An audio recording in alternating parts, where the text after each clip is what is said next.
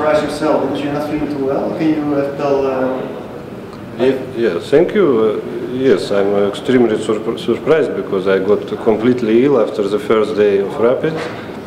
And okay, you can see it from my Rapid games from days two and three.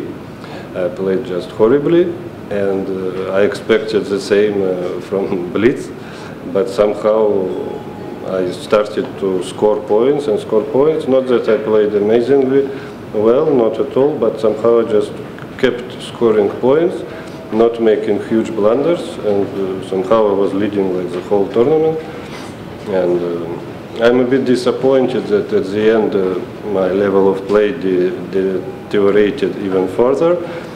I mean, I could uh, guarantee first place like two rounds uh, before the- the last game, or even three maybe if I kept playing okay. But okay, anyways, I'm very happy uh, that six uh, years um, since uh, first uh, Blitz championship, I again uh, won the title.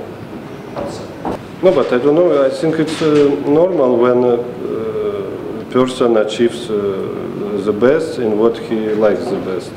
I mean, for example, Kramnik likes the best classical, and he achieves the best in classical. And for me, it's Blitz.